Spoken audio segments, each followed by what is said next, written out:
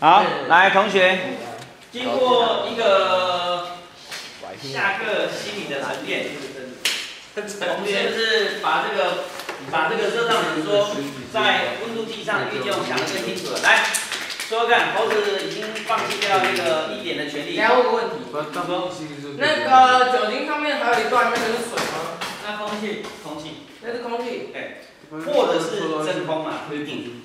啊，在真正的温度计里面，它可能成功。哎，不是有一个红色的东西，然后它跑到在下面，那就是整个一样，整个都是。是不是因为底下都把它推上去？不是，有一片红色的东西，那不是有一片红色的东西。我们来看温度计嘛，就不要想象。我先看。No no no。哎，你这你这个人怎么这样？你要不要去？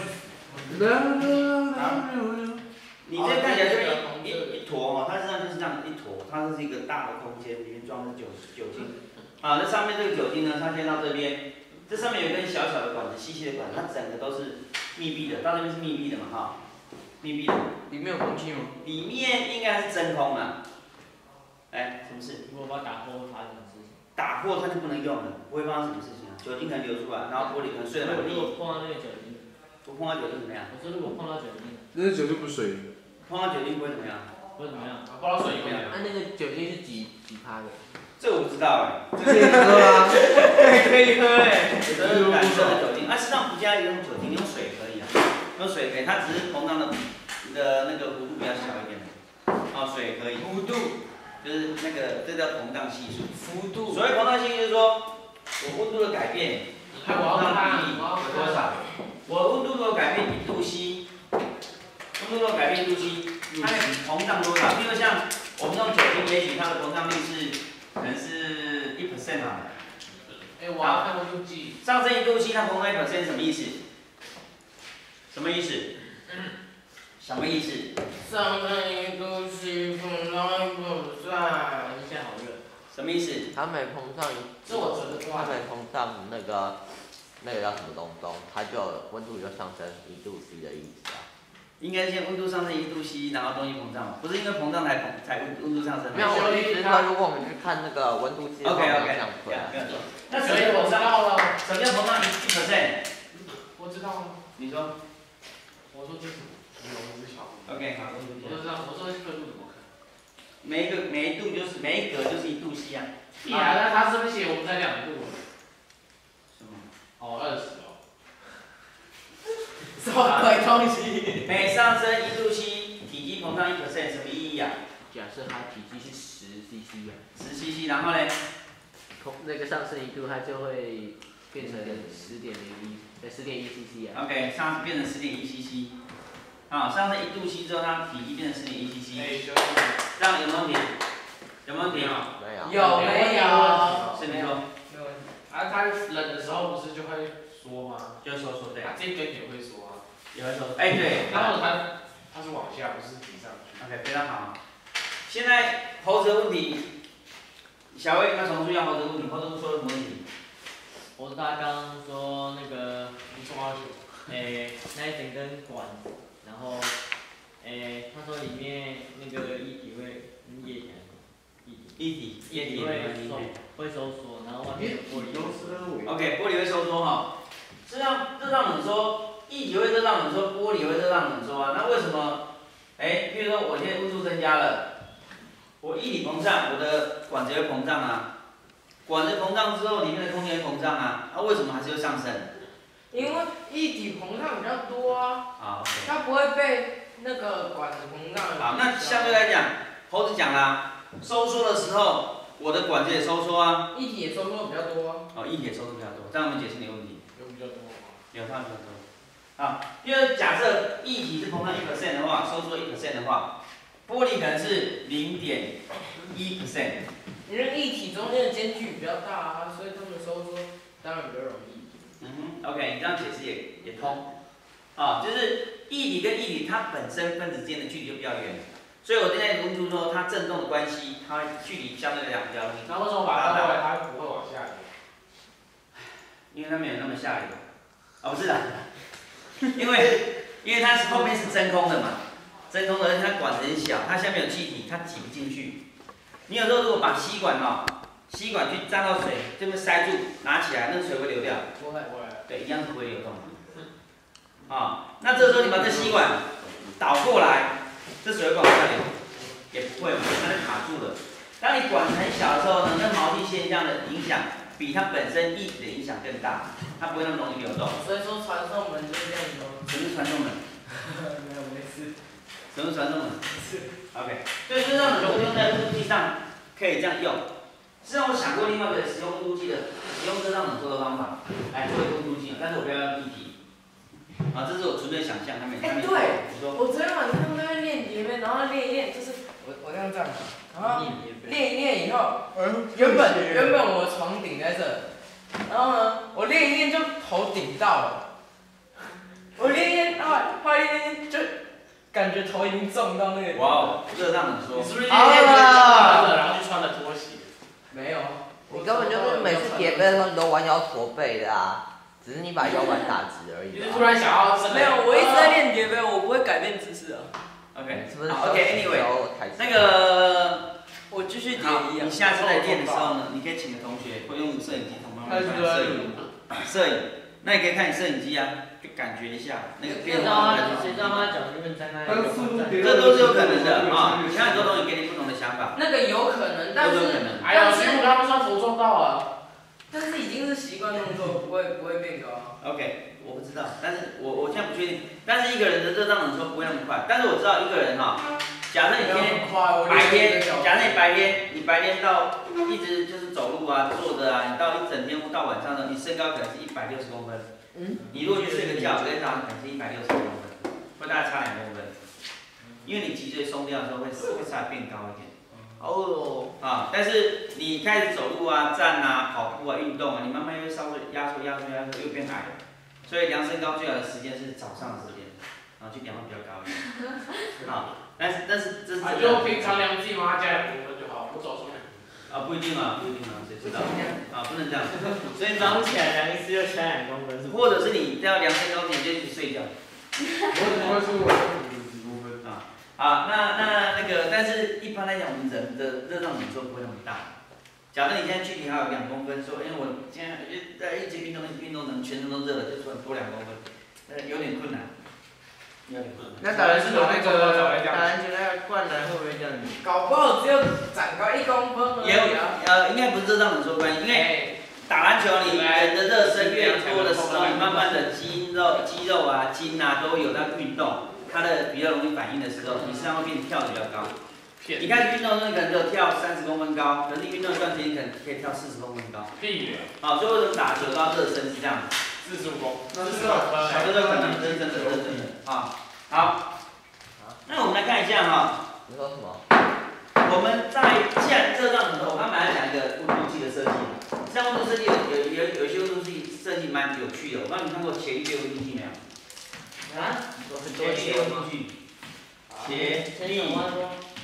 那个字是不是也可以叫加？哎，对，加，有人念伽利略啊，伽利略用伽利略。伽利略度计。好，它的温度计很漂亮啊。你在讲那叫什么？你应该都看过，它都单单温度计很贵。你说叫什么名字？不好做。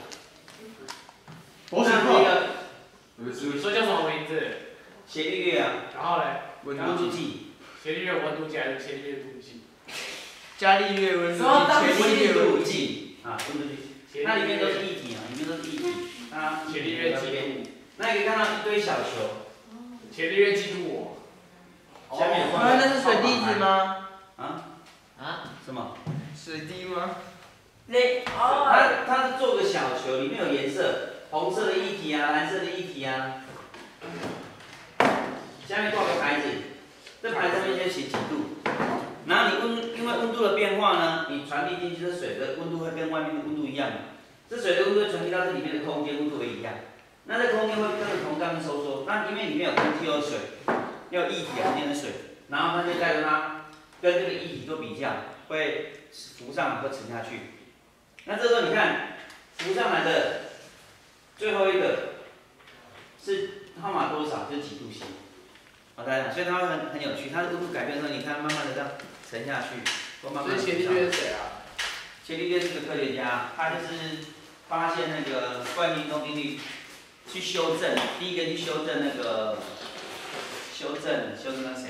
好吧，我都听不懂。亚里士多德的万有呃惯性运动定律的一个一个科学家。谢谢我。那他另外一个科学实验很有趣的是，我们都传统会习惯说大的东西不要掉不要快掉到地上，小的东西比较不容易掉到地上。比萨斜塔。啊，比萨斜塔，那比萨斜塔去拿两个铁球放下去，同时间落地。好了呢，这实际上是空气阻力的影响，而不是本身。如果说假设没有空气阻力的话，我们应该落到地上的时间都是一样的。你们做一个实验，就是找一个保龄球，对，跟一撮羽毛，羽毛，对对对，在一个真空地方，真空在真空，整个真空。出的东西好好选。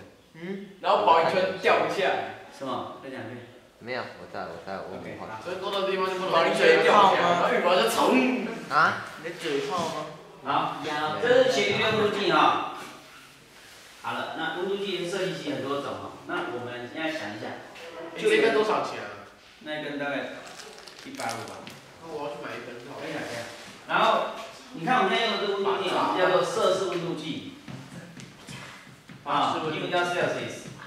然后还有一个叫做华氏温度计。华氏温度计英文怎么讲？啊？啊？花好像贝伦海吧？忘记了哈。好，好，摄氏温度计跟华氏温度计这是不同的时间、不同的设计的了哈。华氏温度计，实际上现在国外大部分用华氏温度计。啊，华氏温度计主要是英国那一方面的科学家设计的。那怎么定义呢啊？我们用这我们用摄氏温度计。为什么？啊，因为摄氏温度计就是我们比较喜欢的百姓问题，百姓问。好，你讲摄氏温度计啊。摄氏温度计发明摄氏温度计的，它就定义水结冰的温度是零度 C，水开始沸腾的时候是一百度 C，够清楚吗？哦，简不简单？简单。中间你要分一百个刻画，啊，一百个刻画，这就是我们设常用的设置温度计。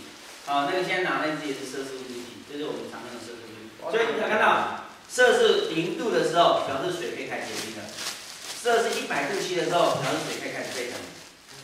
是，这是跟华氏有什么差别？啊，差别在这里啊。另外一个华氏呢是另外一个人他发明的，华氏数字比较大，啊不是，华氏呢他是拿，他是拿什么？可不可以转到明示？这是什么？可不可以转到明示？明示，对不起，没有明示哎。好吧。我比较喜欢看台式有海贼王。啊，谢谢你，啊，中式有我有派出所。谢谢你。华氏温度计呢？乌龙派出所。华氏温度计它定义，它结冰的时候是几度？近视温度计。是几度？课本有写啊，因为你们都。哎哎，同学同学，好了，别看公式了。这是我的权利好不好？这是我的权利好不好？这不是你的权利。啊！所以我们下次现在换大家砸你一下。换羽绒砸你一下。打懂啊。OK，停，这是我的权利啊。那个不要再躺下来了。你都躺着。你不要这边穿牛角尖啊！华氏温度计要追牛角尖。好，华氏温，哎，你怎么现在是？我们听到钟声。你不要这么钻牛角尖。我以为听到哇，轩宇你大特写。什么？你跑去哪里？听到钟声？楼下。我就在旁边而已，楼下怎么会没听到？办公室旁边而已你在睡觉？没有在睡觉。你没有突然发现旁边都没有朋友了？都没有可能开一都没有朋友，所以发现不了。你在看书哦？类似吧。累死。OK，停停停停，快快快，回来回来回来回来。华氏温度计呢，很特别，是它在水结冰的时候，它不是零度，它几度？它三十二度对。哇，好热啊！他干嘛这样？它干嘛这样？你就觉得干嘛用个三十二度很奇怪呢？啊，它在沸腾的时候几度？两百一十二。两百一十二度。为什么这么？不是不是 A 不是 C 啊，它是 F。三十二度 F 的时候，它在华氏三十二度的时候结冰，它在华氏两百一十二度的时候沸腾。你会觉得这个人很奇怪，为什么不定个刚刚好的温度？为什么不定个一百、两百、三百都好？为什么定个该是用别的奇怪的？东西。他可以哦，他用别的东西非常好，他用什么东西？口水。不是口水它可以测零下，啊，它可以测零下，零下，它可以测零下的温度。测零下温度，不是啊，这也可以测零下温度啊。三十一啊。它可以负十度、负一百度、负一百二十度都可以啊，它也可以测零下，都可以啊。没有发现。那为什么为什么他用三十二度？不是有一个什么零下几度是完全没有生物能生存？啊，跟那个也没有关系。哦，好吧。我随便讲的啊，零下一度，一下一零二度，这两个它它一定有标准，它标准什么？它用盐水，它把水加盐进去之后，不是看好看，你看它，因为加盐之后，它可以让它整个整个结冰的温度点，哎对，海水，它可以让它结冰的温度降低。它加它盐盐巴呃水加盐巴之后，它的冰点是零度 F，加多少？零度 F 加多少我不知道，举水这个程度啊，好子。它用这一点来当成零度 F，啊这样就有意义了吧？哦，对他来讲有有个什么意义？我不知道他当初做什么实验，但他用这个方式来定出那零度。可能我在想，他可能是个航海家，他可能是航海家，因为他知道什么时候不能出门啊。他想知道海水如果结冰，我可不可以出门？当然就不能出门，船会被船会被冰冻在海面上嘛。所以他可能利用这种方式去决定说，我今天做个温度计，我主要是要知道海水会不会结冰嘛。他用海水结冰的温度当成零度。哎对对。啊，他他就可以有参考值的。渔夫，他用什么地方当成一百度？有没有好子？他用什么地方当成一百度？你觉得呢？你觉得呢？海水会蒸发。海水一直在蒸发啊，只是蒸发的快跟慢而已。还有什么温度当一百度？你觉得？跟一定跟生活有关的嘛？你看这个用水，因为他是科学家，最容易取得的实验器材就是水。可以晒干吗？啊？二十五度。二十五度？为什么二十五度？我也不知道，猜的。猜的哈？哎，不是。猜猜看。三十度。三十度，然后你就用摄氏，不是这个华氏比摄氏先出来的，华摄氏温度是在华氏之后才才才设定的。哦，有一个有一个人叫做摄氏，摄氏这个人 Celsius 这个人呢，他去设计的。哦，三十七度。啊？为什么三十七度？我也不晓得。为什么三十七度？啊？对，有答案的三十七度，为什么三十七度？你觉得三十七度跟跟跟你有没有关系？有人人体。人的体温啊，人体的温度啊，人体大致上就在这个温度，就是人大热是三十度，所以它把人体的温度设定为一百度，哎，这样有意义了。好像还是没有。我超过这个温度一某个时间，我可能就觉得是发烧或太冷，它可以从这个温度计看，肯定看到，所以它的零度是定在盐水结冰的时候。它的一百度是定在人体的温度，OK，这样就有意义了吧？啊，OK，这就是它的意义哈。那中间有时候我们需要转换的，有时候人说，哎，现在好热哦，现在是华氏一百二十度，那说当那一百二十度到底几度 C 啊？没办法换算的，我不知道现在我知道。怎么样换算？I know. Please say it. 呃，我要想一想。现在是跟数学有关。啊，现在跟数学有点关系了。我现在有个疑问呢，我去美国玩，就电视新闻告诉告诉我，现在是华氏，明天的天气很热，一百二十度，华氏一百二十度。可是我脑袋里面没有概念，什么是一百二十度啊？我不知道。华氏吗？我猜就知道。对，美国习惯用华氏啊。你没有概念的华氏一百二十度到底几度？我不知道，那怎么办？我是不是要马上换算成摄氏才容易知道是什么意思？四十八度。为什么四十八度？我不晓得。你好算呐！你要猜华氏，他拿华氏温度计，然后拿去算那个摄氏。没有错啊，就你你可以拿华氏温度计去换算一下可以啊，那怎么换算嘛？现在就是问你怎么换算呢？是打在上面。浩轩就每次都只会用这些，然后再以为自己很聪明，一直笑一直笑。你你你你你你你。你看到这边到这边有几个科望，有几个？这边到这边几个？我知道。怎么不知道？我都放在黑板上，不会算一下。我知道。多少个？啊。一百八十个哈，谢谢你的答案。我们从摄氏的零度到摄氏一百度有几个？十八个。一百。有几个？一百个，对不对？也就相当于是我每一格，我每一格相当于摄氏的多少格？这号十八。啊？十八。一点八格吧。十八。这边一百格，相当相当于它的十八，一百八十格，对不对？也就相当于我每一格相当于华氏的一点八个，是不是这样子？是不是这样子？十八啦。是不是这样子？不是。是这边的，是这边的每十格等于一一点好，所对，或者是说华氏的温度乘以零点十八个，乘以零点九，然后就变成为什么是是零点九？为什么是零点九？因为它要点九，或者是或者是说我每五格相当于它几格？是十格等于十八格。对，十格等于十八格，五格等于九格，是不是这个意思？每五格等于九格嘛，是这个意思？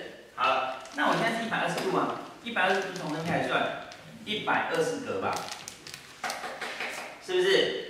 那我先把这个扣掉，对不对？扣掉之后这边剩几格？剩几个？拜托好不好？我要参与，我不要参与。几个？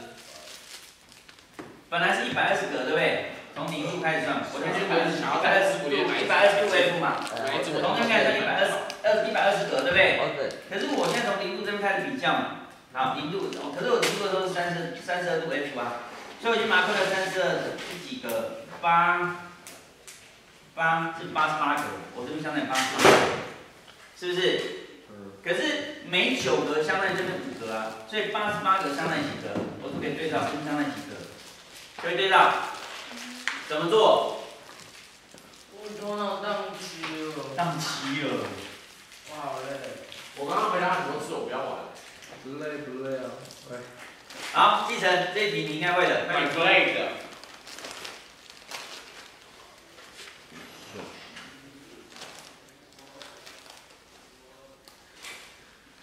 这个这个是基本的单位。你再问一次。我再问一次啊！我刚题目已经讲了三次了吧？我现在一百二十度 F，我相当于摄氏几度？哦，你要从华氏换摄氏哦。对对对对对你说它是一百二十 F 哦。对对对对有一百八等于一百对吧？哎呦，等于四十八啦，对。哦哟。你在这吗？那一百八等于算谁的？不知道，随便。呃呃，小薇，哎，你还好吗？很好。好了，这个东西我不想讲，哎，因为看起来这部分是直接二十八度哎。你问的问题不要跟数学扯上关系。对，因为我现在很担心是看起来我们可能有一半以上的数学程度都不是太好，所以我现在讲到这边就是自会自动宕机。干嘛？那你们真的要，你们真的要用一些哦，跟上工没有关系，跟自己有关系，好不好？你没有读书跟老师什么关系？你没有学会跟老师什么关系？啊，你没有想要学会谁怎么来，谁来教都没有用啊。如果你不想学会的话，那如果你想学会的话，没有老师也可以学会的。OK，像你会这么会看漫画，会去找漫画，那需要人家教吗？谁教？伙伴，哪一个伙伴？很多伙伴。你会去问嘛？把我推出去。你会你是会去问？当然要问。对啊，你不会就要去问啊，不是吗？你弹吉他，你喜欢弹吉他，你弹不会了，看见人家轮子很棒，你不会了就要去问，是不是要去问？公司就是。是不是要去问？你去画画，画不会了，不会画画了，这个技巧，哎，我这技巧好棒，不知道怎么画的，要不要去问？技巧要不要去问？你自己练啊，要不要去问？你自己去感觉，感觉感觉这回事啊，感觉就问你要还是不要而你已啊。问比较快啊。对，问比较快啊。好，那你在短期要学会很多东西，很多时候就是要去问呀。啊，不要把责任就是说这数学不会就少工东西，跟少工没有关系啊，是跟自己有关系，好不好？这部分其实这个很简单换算，我相信会的应该早就都会了。啊，会不会同学？四十八，四十八度，四十八。还没算，那你会不会算？你知道怎么算的吗？你你在一个题目啊，在任何一个事情你遇到一个问题，我不讲都是讲数学题目，讲自然题目啊，我不讲任何一个题目，而讲你看那个问题，你看那个问题，事实上你就很清楚自己会不会，因为你有感觉，我有没有办法去，有没有方法去解决它，是不是这样子？我如果有办法去解决它，我就是有办法找到答案。任何问题哦，我讲的任何问题，比如说一天中午要吃什么，假设对你来讲是个问题的话，可是对你来讲如果没有困扰你，你说中午吃什么啊很简单。如果你这样想的话，表示你现在知道答案在哪里，你已经有办法解决这个问题了。或者你今天要回台北，你说哎回台北，不是问题啊，因为我知道从哪边坐车啊，我不会坐车我可以去问人啊。反正我有办法解决问题，那个问题就不会对你来讲是个问题。反正会。可是你如果遇到这个问题，一碰，哎，从摄氏一百二十度要，哎，华氏一百二十度要变成摄氏摄氏温度的时候，好像好像不知道怎么开始哎。有两种可能性，第一个是你对题目没有搞清楚你在问什么，第二个是你根本不知道从何着手。八十八乘以点八。八十八乘以点八，然后呢？除以点八。哦，除以除以点八嘛哈。加错。因为八十八，我们发现这边每九格，会对应这是五格，所以我就要乘上九分之五，或者你先把它除以九，我看看有几个九，再乘上五，我就知道可以得到摄氏几度了，就这么简单啊。所以呢，这部分就是讲一下，不是那么难。但是我不希望说同学遇到一个问题，好像说啊，这是数学，卖来门我，我北料，就直接放弃，自动放弃，这很可惜啊，这是非常可惜的事情。超屌！不要遇到一个问题就自动放弃了，所有的问题都没有那么难，对不对？有，对不对？啊，所有问题都没有那么难哈。所有的教都。再睡着了就推下去了哈。所有的交通。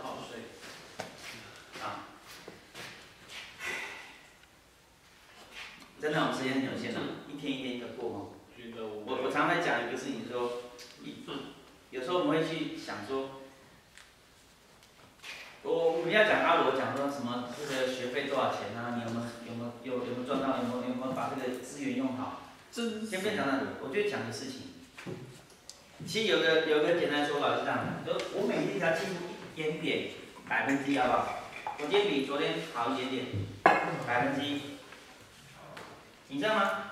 一点零一的十次方会是多少？或者或者说一点零一，假设我每个月每个月都进步一点零一，一年就进步一点零一的十二次方，我十年就是一百二十次方。有计算机可以算一下是多少？一点零一的。你知道我数学吗？我来算。就是一点零一乘一点零一乘一点零一乘一点零一乘一百二十四啊。好，这样好累啊。你不用这样乘了，你可以用次方嘛？你不用次方吗？啊，一点零一乘一点零一乘一点。次方乘一百二十四。次方在你的这叫什么名字？次方，次方在计算机上可能是这个符号吧。哦，你如果打一百一点零一这样子就可以了。这个符号一百二十就是表示一百二十次方。三点三零零三八七一，三点三零零一。二八有没有？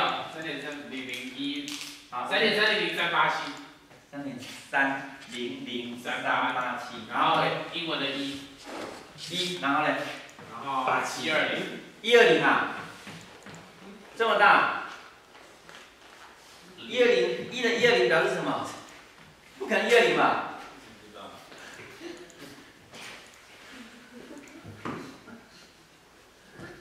啊！等一下，一点零一，次方，一百二十，这么多啦。按错，你按成一百二，一百一百零一啊。好，三点三点三左右，那你再帮我按一个，再帮我按一个，零点九九的一百二十次方。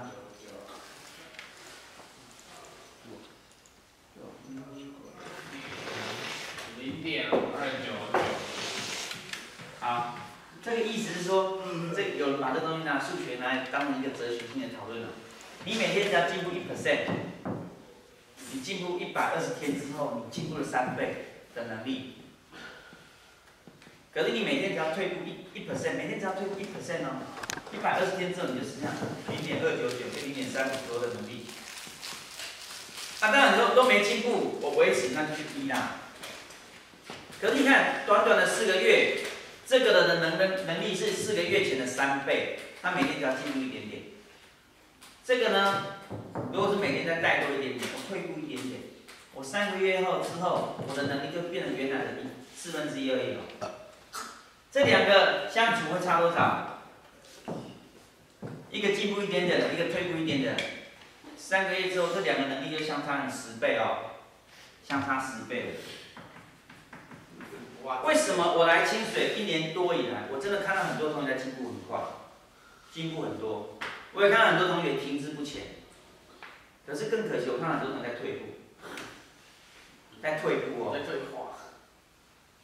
退步是退步到以前还可以跟跟别人沟通的，退步到现在不太能够沟通了。你说我？我不知道，你自己去反省，这件事情是只有你自己最清楚的。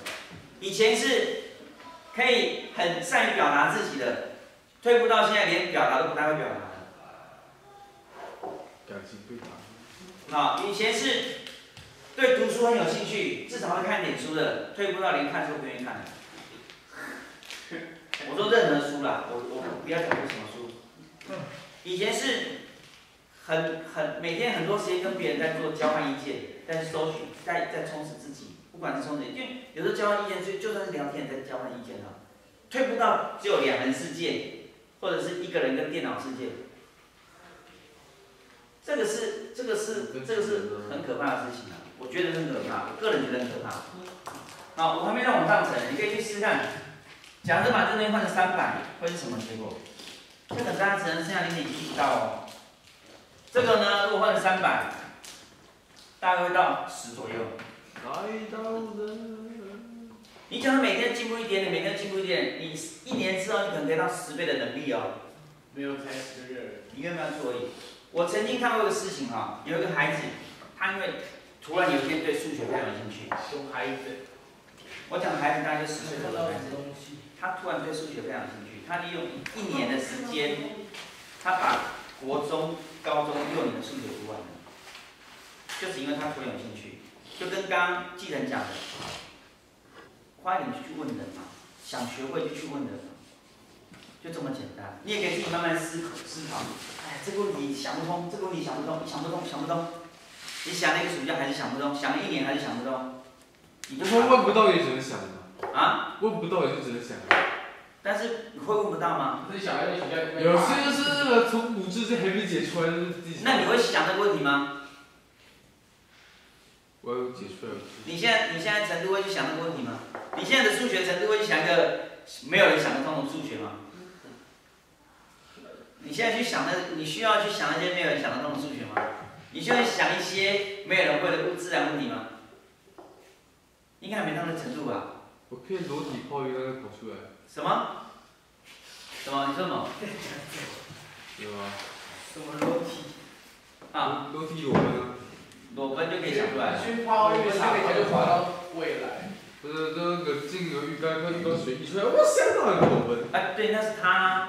因为在他之前没有人想得通啊，那就需要那就需要杜牧没有错，那对对他来讲，要对阿基米德来讲，他那时候需要杜牧，因为在阿基米德之前没有人想过这样的问题，但是在阿基米德之后的人还需要去泡浴缸想问题吗？还需要泡过浴缸的哦，原来福利是这么一回事，需要这样。好，那我在苹果树下沉思。OK。你也不需要像牛顿一样去这样思考地心引力，就说你是苹果掉下来把你砸死，你也想不出来，对不对？我说苹果不是榴莲。因为牛顿是牛顿，他已经累积了多少科学知识在那边？一个牛一个苹果砸下来，突然顿悟了。我们没有那些基础，没有那些基础学理的时候，在树下牛砸了啦，砸了。他是在菩提树下。哎，牛顿悟了。你去樱桃树下。等华盛顿来看，他就被敲死。说真的，说真的，说真的，其实很简单，就是麻烦各位每天回去在写学习记录的时候，顺便思考一下，我今天有没有进步？我知道了，那些其实我今天进步了哪些事情？我今天在哪边学习到新的新的东西？然后就把那些东西写。学习记录就是让你做这个事情，每天做个小反省。我今天有没有比昨天更进步？我没有要求很多，你只要进步一点点。我今天只要学会多一点点。我今天只要学会多一点点，你每天都这样做，你一年、两年、三年离开妻子之前就进步非常多，好不好？都不会嫌迟，你只要愿意现在开始做，你就来得及了，哎，好不好？因为人生很长，你现在不过是短短的两三年在这里。哦。而且如果每天进步多一零点一，就是更爽。对啊。二十倍。没有错啊。你如果有一天进步的更多，你不要你你不要进步一 percent 嘛，你进步两 percent 呢？那那那个那个小小孩几岁？啊？想一想，是九，你刚刚说那个猪猪，我不知道，我不知道几岁，我只看那个新闻几岁，新闻你说他十岁啊？好几年前的新闻，哪一国？印度了，我画出了这是新天谁？印度了。有可能是印度了，但是我记得台湾也有过一个小孩，他是利用个暑假，他利用暑假把国中的数学读完。暑假，就是因为他，他就觉得有趣，开始想学数学，就开始每天去去去数学，去看数学，去做数学，他有没有可能从国中就一直没有，就国国小一直没有毕业，其实已经年龄国中。我不知道，我不知道，但是他就是利用个暑假，把数学，现在你高中把三年级。国一、国二、国三的数学读完了，他可能一，有可能一年级、二年级都没有读完，为了考试，国国三的时候把数学读完，也有可能啊，有可能啊。有。啊，也有可能，就是那东西只是你要不要学而已哈。好了，我们回来，所以这是摄氏跟温摄氏跟华氏的温度的定义哈。好，其实在温度计叫凯氏，或者叫就呃对还是。又一个白痴。它是一个 K 哈，它的定义就是 K，几 K 几 K，它没有度哦，它没有写几度 K，通常来讲不讲度 K 哦，它讲 K。好了，那它这个定义是什么？它定义很简单，它是用摄氏来的。它做实验呢，我现在如果问你一个问题，我不断的加温，不断加温，从零度可以加到一千度，可不可以？可以啊。我再去加温，加温可以加到一万度。可以啊。我再去加温，加温可以加到十万度。可以啊。可以吗？啊，我再去加温，加温可以加到一亿度。可以啊。有可能嘛？啊，有可能，那有可能，那有没有可能？有没有燃料？人人类的能力有没有办法到到这个？我不知道。啊，但是到几万度是还有办法。好了，我开始减温，把温度拿掉，把温度拿掉。温度怎么拿掉？问你一下。降温。啊？怎么样？用手拿着。用手拿着，用手把温度拿走。这是一杯热水，先把温度拿走。丢冰块。丢冰块。好，冰块为什么可以降温？因为它冷的。所以是冰块。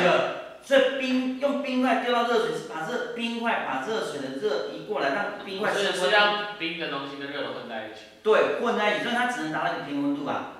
你最后的温度只能达冰跟热水中间的温度嘛。就是再丢再丢就一直降下来。那冰比热多吧？我每丢一个都好，我问你啊，我现在有有一点点热水，一百度。我现在有一堆冰块。零度，我把这两个混在一起之后，温度会在哪里？接近零度。接近零度嘛？会不会低于零度？不会，永远不会。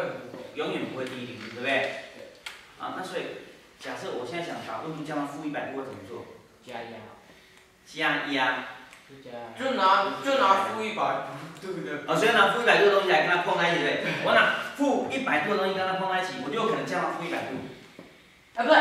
负一百零一度，好，负一百零一度，然后一直丢，一直丢，一直丢，一直丢。好，我丢很多嘛，一样，这是一点点，这是很多，负一百零一度，我就可能降到负一百度，对不对？我最后只能到一百，负一百零度，一百，负一百度。那我们有没有可能到负两百度？拿负两百度。拿 负两百零。啊，请问这个这个地球中间，你有没有办法找到负两百度？一太大吗？应该。一太大勉强到负。好，那我们办法负三百度。好像还可以。地球没有。我们到负一千度。不行。地球没有这个东西吧？我们办法到负两两千度。不可能都很有可能。好，停停停停停停，我们都开始觉得不可能了。请问是哪个点不可能？是负三百度不可能，还是负一千度不可能，还是负两千度不可能，还是负三千度不可能，还是负十度不可能？负三百吧。为什么？你猜的。所以猜嘛，大家猜猜看，猜就不科学啊。所以我们脑袋应该知道说，十科学面负的，对，这科学面如果能解决这个问题就太简单了，就跟阿里阿基米德一样跑去睡觉。那位同学，我的火箭快发射了，啊，哦，终于射中了，耶，对啊，好，不要随便睡觉啊。负的温度，它是有极限的，它是。有极限，所以科学家就想知道它极限在哪里。他想知道到底极限温度在哪里，所以这个人他就开始做个实验，他就把空气拿去降温，他发现呢，发现温度跟空气，我们讲热胀冷缩嘛，哎，果然没有错，差不多浪费能源。你这个降温的时候呢，这个空气会压缩，空气会变小。很简单，你可以做个实验哦。如果你们有兴趣的话，去随便拿个保特瓶洗干净，里面不要装任何东西，装空气把它锁紧，放到冰箱的上层，不用十分钟，你去打开看看，那那个保特瓶就收缩了。不用十分钟，一秒就可以了。不，一秒不行啊，你要让它平衡一下，大概十分钟左右就可以让它收缩。五分钟以上。那如果我把门十开分钟，，OK，如果我把门开着的话，我可以看它。应该可以，但是你会浪费能源，你会看一直空气筒那个，可以试试看，这个我没有没有什么办法，可以试试看。你可以看到它收缩了，为什么会收缩？因为里面的空气都冷，就机器冷。OK，没有错哈。所以他就做个实验呢、他做实验，而且他做个图，他发现我在我的温度，哎，我从这边开始画，好，这体积，这是温度，但是我把这边变成负的温度，就是往这边是越来越低温。我从零度吸的时候，等下体积在这边，我发现呢，我负十度的时候体积在这边，我负二十度的时候呢，体积在这边。他发现哦，哎，这是有有个有个趋势，有个趋势，到某个东西某个某个地方的时候呢，既然它有趋势，表示它会到这边体积是零啊，是不是体积是零？我到某个温度体积，当空气变成体积是零的时候，它就会不会再收缩？不会再收缩了哈、它就但不会到零。它会到零。你知道这温度是几度吗？啊，它叫极限温度，所以这个极限温度被推测出来是两百七十三度，两百负的两百七十三度 C 是被推测出来，被推测出来的哦。因为真的我们做不到，我们没有办法找到负两百七十三度 C 一堆的东西跟一颗水碰在一起，让变成负的两百七十三度，也没有办法。因为只要这个东西不是负的两百七十三度，我碰在一起，这边温度就会上升嘛，就会上升到不是负的两百七十三度，而且整个宇宙中，整个宇宙中找不到这么低温的东西还找不到，啊。只是还找不到。哎，事实上就是找不到，为什么？因为这人类有方便全宇宙吗？这是极限温度，这是极限温度。目前宇宙中，宇宙中没有没有物体的地方，我们探测到的温度是三，是负两百七十度左右。所以这个人就定义负的两百七十三度是零 K。所以现在大部分我们说宇宙的温度是三 K，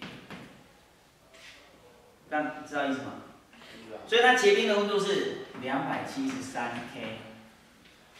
它沸腾的温度是几度？几度？一百七十，哎，三四三百七十三。啊，三百七十三度是它的，三百七十三 K 是它的沸沸点温度，这样知道意思吗？啊，所以绝对零度这边又叫绝对零度，是几层？什么东西？下课了吗？不是。哦，你是 Fire！你都快把他叫起来。麦克风呢？头抬起来。你还好吗？嗯。你还好吗？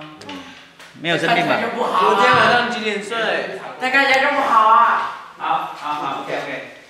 所以设施，哎哎哎，同学，干嘛啦？那个逗了你啊？哎，人家在不能趴什么？有没有睡着过？他就不能趴、欸。连他肚子是整的。我我没办法，对对停，我没有办法确认你们睡着，但是不要头不要趴着，好不好？手，不要撑着。我们所以我们知道负的两百七十三是所有的物质的最低温度，没有办法再比它更低了。好，没办法再比它更低，所以这部分我们就定义它是绝对零度。但这但这部分不是我们做出实验做出来，我们是推测出来，因为实验只能做到这边，所以这边是推测出来的。嗯，推测出来是理论上，但是还没有可以做到。再讲一遍，所以那只是理论上而已，还没有真的可以做还没办法到。真的做到。啊，我们真的没办法做到。嘿，努努办得到。所以有人说啦，到绝对零度的时候，说不定连光都不会流动。那黑洞的几度？啊？黑洞的几度？黑洞啊，黑洞有可能是这么低，因为它全部都收缩了，或者黑洞在什么？黑洞就是一个很很大很大的质量物体。不是说没有黑洞吗？有黑洞的，黑洞出来。黑洞是已经被观察到了，黑洞已经被观察到了，还有人进去吗？没有人进去啊。这就出来了。我们人类发射的太空船，好不容易经过了三十几年，好不容易到了太阳系的边缘，黑洞离我们太阳系还很远很远很远很远，好不好？公点了。假设这是太阳系的话呢，假设这是太阳系的话，啊，第一个黑洞离我们比较近的黑洞应该在天洞底，哦，你懂我意思吗？好远。哎呦，啊，假设这是这是太阳系的话，假设这太阳系这么大的话，太阳系这么大，也就人类从这个点到这个点花了三十年。啊，这是太阳系在天上，不是第一个黑洞在天上。在天洞底。那你知道大小吗？啊，一辈子都到不了啊。那太阳呢？因为太阳这么大，太阳是这么大，这太阳是看不清楚的，太阳看不见，看，太阳是细菌，呃，太阳在中间很小一片。太阳微子。那个太空船开到坏掉也到不了。啊，啊啊！黑洞那他怎么怎么知道建筑里面障碍物这么多？宇宙是空的，所以我们看到望远镜看，哦，那边有黑洞，哦，在天空里那边有黑宇。宙是空的，宇宙上还有星星啊。啊，黑洞长什么样？黑洞事实上如果在在在望远镜里面观察到黑洞的话，它应该就是个，我们刚刚讲了嘛，我们刚刚讲了，如果所有东西它不会反射光线的话，光线被吸收的话，是黑色，所以在太空中看到它就是有纯黑色的点，因为所有光线经过它都被吸收，它不会反射光线，它不会放出光线，所以它是一个黑的，所有东西它都要，它都吸收了，它都希望。哎，既然是纯黑色，那它的存在感应该很低啊，怎么看得到呢？你就是望远镜看上面就是缺一块啊。哦，对不对？假设你比如大家都穿白色衣服，只有穿黑色衣服，你会觉得它存在感很低吗？会。不会吧？你觉得存在感很高宇宙啊？都是空的，那些星星不会挡住吗？中间没什么星星啊。好烂。这宇宙，哎，你不要想，对不起，宇宙就这样。这太阳系的话，假设我们第一个行星是在呃地离我们地球比较近的行星，也许在这个 在啊，像我们的空。在谢米国小好了。好远啊。那这个从太阳系这个行星到下一个行星中间就没有星星了，就没有星星了。OK。每一个行星都会那如果说第一个星星在在谢米国角，那黑洞应该不在谢米国，黑洞可能是在，黑洞可能在罗东吧。哇哦，啊，宇宙是非常非常远的，宇宙是非常非常远的。黑洞是不是在银河系的中间？到我死的那一天为止，这样的宇宙有非常多的黑黑洞，而且银河系也非常多的银河系。啊，与一个银河系里面呢有几几几千亿个星行星，那整个宇宙呢可能有几千亿个银河系。我那飞船三十年都不会坏。你看为什么会坏？老旧啊。你知道吗？我我有我在那个宜兰探索博物馆那个社团里面，我成立一个社团是宜兰探索博物馆，你有兴趣可以去订阅去按赞。啊，你看过？我里面有放一个，它其实讲彗星，我们有有发这个太空船去登陆一个彗星嘛，最近刚登陆了。那登陆彗星之后呢，我们就从地球这边把它叫醒，对，它叫醒让它登陆彗星，它身上的电池只够它工作大概是五天左右，那实际上后来它只工作四天就没有电，所以在没有电之后，它那个彗星里那个太那个太空船粘在彗星上，然后就粘在彗星上，但目前又又又不会动。所以他们现在等说，等那个彗星比较靠近太阳的时候，那个阳光会打到彗那个太阳船上的太阳能板，它会在充电。等它有电的时候，说不定会来联系。那这个太空船飞到这个彗星会花了十年左右，然后会现在哪？彗星在在太阳系，它准备到太阳系啊，到地到太阳了，但是它很远了，现在离地球还非常远。所以这个彗星从发射这个太太空船发射之后，经过十年的旅行，才到那边去。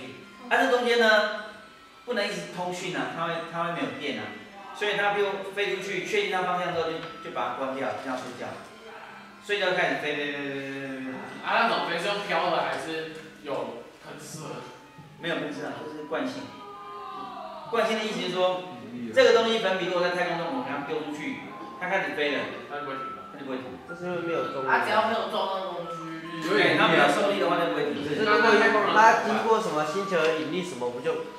对对对，那我刚刚讲了嘛，太空市场是太空嘛，哦、叫太空了嘛，空空荡荡太空，那就基本上没有什么东西啊。而且不会有小的陨石去撞它吗？那几率也非常、那太空人他们吵架，还好我绑绳子，还好我绑绳子。太空人都要绑绳子，太空人都要绑绳子啊！是啊，绳子。那神猪肉啊，煮应该不会熟了吧？